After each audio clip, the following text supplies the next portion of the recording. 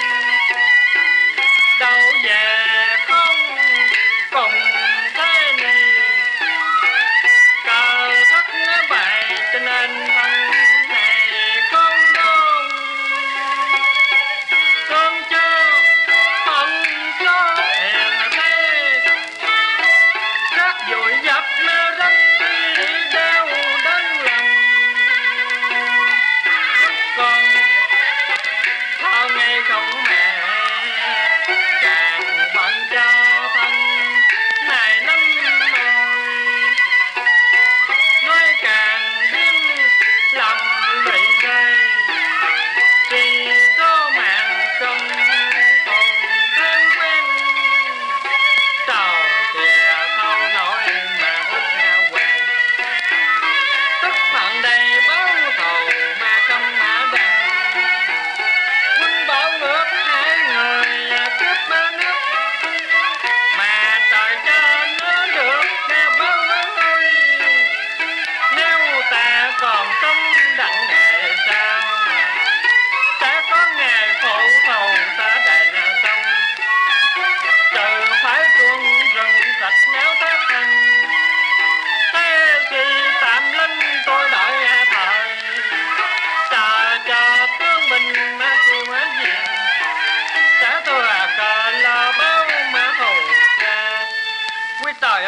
quả châu xương cản lộ ắt là kho nổi thác thân nào về đâu đứng thanh thần.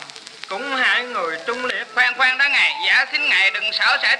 Tôi nào phải châu xương vì thấy ngài sắp bị tai ương. Liều mạng tớ đánh lui ác tặc. Tôi là châu sáng nay chứ phải châu xương đâu ngài đừng sợ đó ngài. Ta ra ngươi là châu sáng chứ không phải châu xương đó ha. Dạ.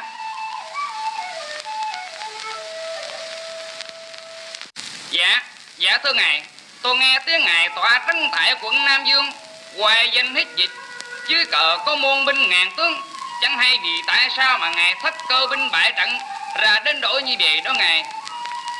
Này trang sĩ ơi dạ. vì tỳ tắc đông binh nhiều tướng thêm thành đô sức mạnh phi thường. Ta thất cơ binh nên mất quận nam dương.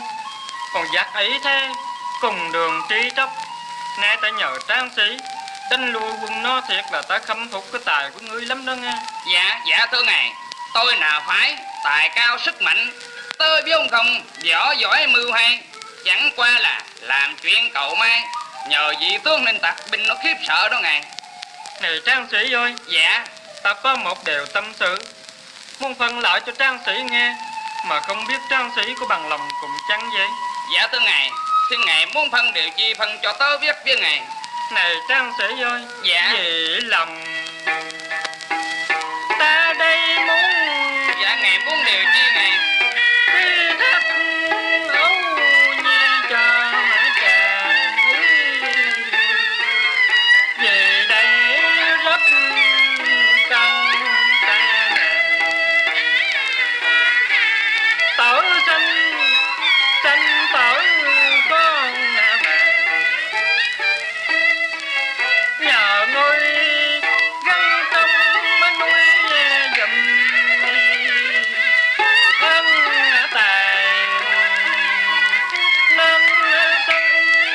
thương ngày ngài đành giao cho tôi tôi sẵn lòng nguyện lãnh về được như vậy ta đổi không? Dạ.